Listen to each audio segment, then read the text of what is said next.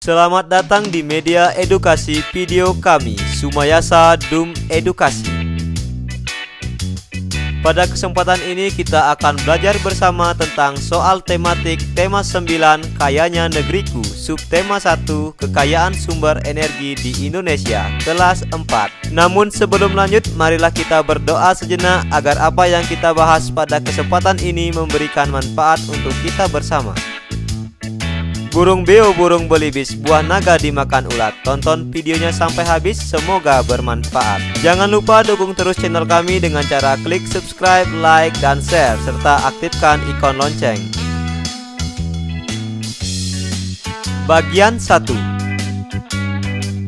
Soal PPKN Bagian A. Pilihlah jawaban A, B, C, dan D yang tepat di bawah ini. Nomor 1 Hak yang didapat penduduk yang tinggal di sekitar pembangkit listrik tenaga air PLTA adalah A. Menjaga kebersihan sumber daya air B. Mendapatkan listrik dari pembangkit listrik tenaga air C. Membuat bendungan di sekitar sumber daya air D. Mencemari sumber daya air dengan deterjen Jawaban B. Mendapatkan listrik dari pembangkit listrik tenaga air Nomor 2 Salah satu contoh kewajiban manusia terhadap lingkungan adalah A. Membangun bendungan di persawahan B. Menggunakan sumber daya alam C. Menjaga kelestarian air D. Memperoleh air sehat dan bersih Jawaban C. Menjaga kelestarian air Nomor 3 Berikut ini merupakan salah satu contoh yang mencerminkan sikap menjaga kelestarian sumber daya alam adalah A. Melakukan reboisasi B. Menangkap ikan dengan pukat harimau C. Menggunakan pestisida untuk membasmi hama D. Menyemen halaman rumah Jawaban A. Melakukan reboisasi Bagian B Isilah soal di bawah ini dengan benar.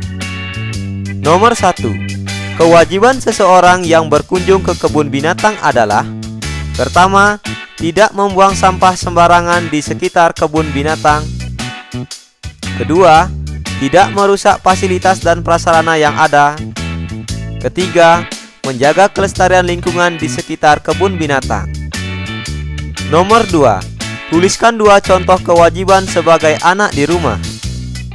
Pertama, belajar dengan sungguh-sungguh. Kedua, membantu orang tua di rumah. Nomor tiga, jelaskan manakah yang harus dilakukan terlebih dahulu antara hak atau kewajiban. Yang harus dilakukan terlebih dahulu adalah kewajiban, karena untuk memperoleh hak, kita harus melaksanakan kewajiban terlebih dahulu. Bagian 2 Soal Bahasa Indonesia Bagian A Pilihlah jawaban A, B, C, dan D yang tepat di bawah ini Nomor 1 Orang yang dapat memberikan informasi yang benar saat diwawancara disebut A. Narator B. Narasumber C. Wartawan D. Juru kamera Jawaban B. Narasumber Nomor 2 Pertanyaan yang disampaikan kepada narasumber sebaiknya A. Mudah dipahami B. Banyak dan seragam C. Berulang-ulang D. Sulit dijawab Jawaban A. Mudah dipahami Nomor 3 Pertanyaan yang tepat untuk diajukan kepada narasumber seorang petani kopi adalah A. Mengapa kopi ini berada di tangan Bapak? B. Kapan Bapak terakhir menggunakan seragam untuk bekerja? C. Bagaimana cara merawat tanaman kopi agar tumbuh dengan baik? D. Apakah Bapak memahami jenis-jenis kopi yang disukai tetangga? Jawaban C. Bagaimana cara merawat tanaman kopi agar tumbuh dengan baik? Bagian B. Isilah soal di bawah ini dengan benar. Nomor 1. Tuliskan hal-hal yang harus kita perhatikan sebelum melakukan wawancara. Pertama, membuat daftar pertanyaan sesuai dengan topik yang diambil. Kedua, menentukan narasumber yang akan diwawancarai. Ketiga, membuat janji dengan narasumber untuk melakukan wawancara. Nomor 2 Pertanyaan apa saja yang akan kamu ajukan untuk mendapatkan data kondisi hewan di lingkungan sekitarmu? Pertama, siapa nama bapak atau ibu? Kedua, hewan apa saja yang masih dapat dijumpai di lingkungan sekitar bapak atau ibu? Ini adalah beberapa contoh pertanyaan yang dapat diajukan untuk mengetahui kondisi hewan di lingkungan sekitar. Nomor 3 Jelaskan apakah yang dimaksud dengan kalimat pendukung dalam suatu paragraf. Kalimat pendukung adalah kalimat yang melengkapi penjelasan dari ide pokok dalam suatu paragraf. Dengan kata lain, kalimat pendukung adalah kalimat yang memberikan penjelasan-penjelasan lebih rinci dari gagasan utama atau ide pokok. Bagian 3 Soal IPA Bagian A Pilihlah jawaban A, B, C, dan D yang tepat di bawah ini Nomor 1 Berikut ini contoh sumber energi yang dapat diperbarui adalah A. Batu bara, uranium, dan minyak bumi B. Air, matahari, dan angin C. Gas alam, batu bara, dan biosolar D. Minyak bumi, biogas, dan gas alam Jawaban B. Air, matahari, dan angin. Nomor 2. Contoh perubahan energi cahaya menjadi energi listrik adalah A. Sinar matahari yang menyinari panel surya B. Aliran air yang memutar turbin dan menghidupkan generator C. Aliran listrik menghidupkan kipas angin D aliran listrik yang memanaskan pemanggang roti? Jawaban A. Sinar matahari yang menyinari panel surya. Nomor 3. Sumber energi terbesar di bumi adalah A. Minyak bumi B. Cahaya matahari C. Biogas D. Biosolar Jawaban B. Cahaya matahari Bagian B. Isilah soal di bawah ini dengan benar. Nomor 1. Apakah fungsi air dalam pembangkit listrik tenaga air? Air berfungsi untuk memutar turbin dan menghidupkan generator. Nomor 2. Tuliskan fungsi lingkungan bagi kehidupan. Pertama, lingkungan sebagai tempat mencari makan. Kedua, lingkungan sebagai tempat bekerja. Ketiga, lingkungan sebagai tempat tinggal.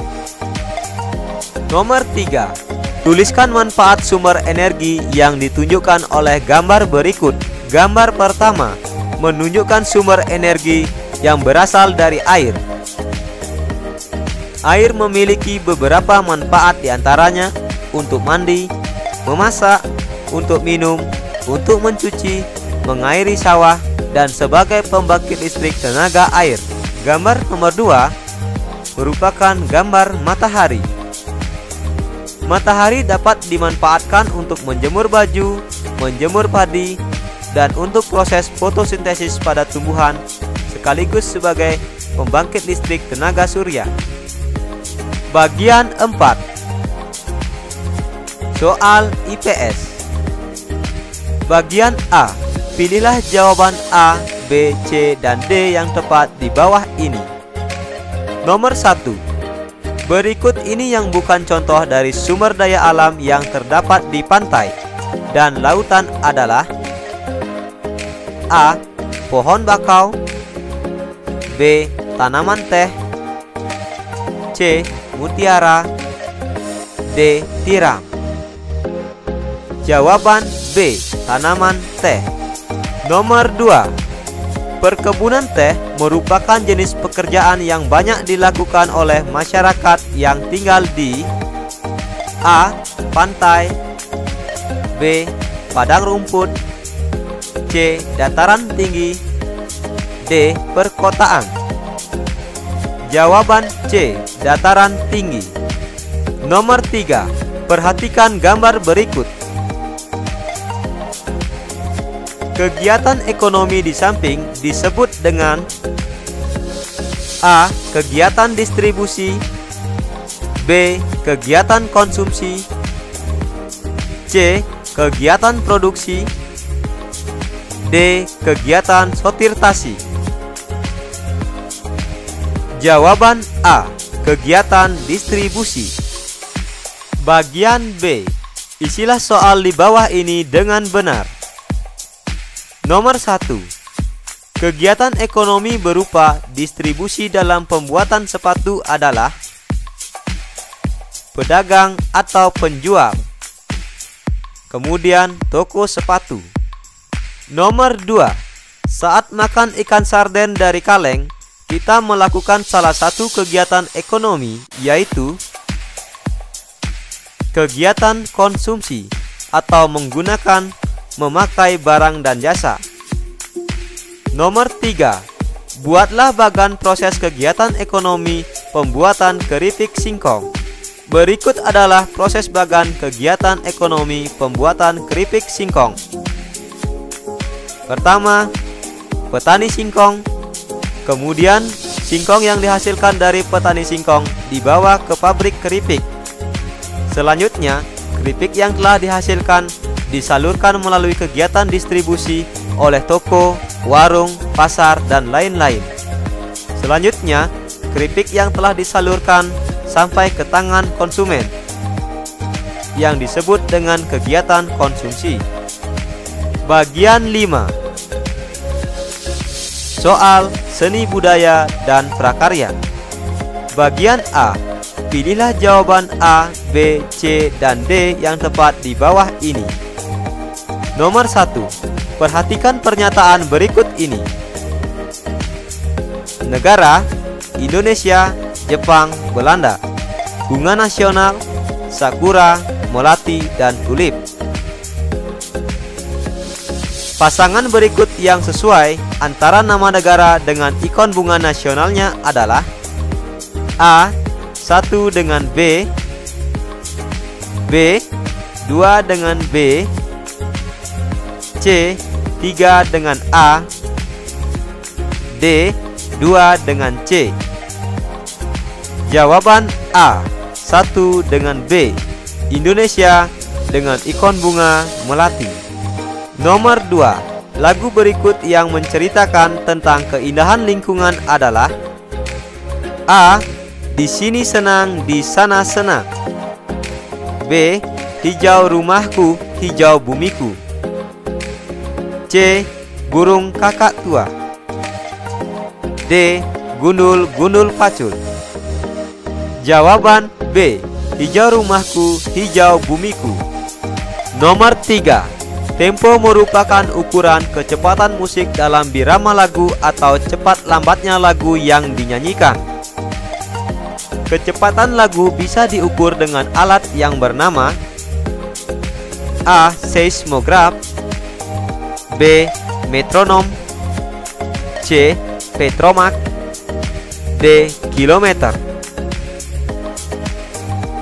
Jawaban B. Metronom Bagian B Isilah soal di bawah ini dengan benar Nomor 1 Jelaskan perbedaan nada dan tempo dalam seni musik Nada adalah bunyi yang beraturan dan memiliki frekuensi tertentu dan tempo merupakan ukuran kecepatan musik dalam birama lagu atau cepat lambatnya lagu yang dinyanyikan. Nomor 2, tuliskan tiga contoh lagu yang bertemakan lingkungan. Pertama, lagu Bukong Je Umpa. Kedua, lagu Hijau Rumahku, Hijau Bumiku. Ketiga, lagu Lihat Kebunku. Nomor 3. Lagu Bungong Jeumpa adalah lagu yang berasal dari daerah Lagu Bungong Jeumpa berasal dari daerah Aceh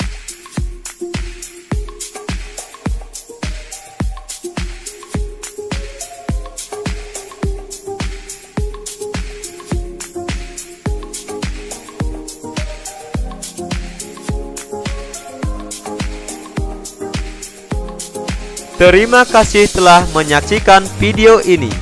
Semoga bermanfaat. Jangan lupa dukung terus channel kami dan tonton video-video selanjutnya dengan cara klik subscribe, like, dan share, serta aktifkan ikon lonceng. Sampai jumpa lagi dalam video pembelajaran berikutnya.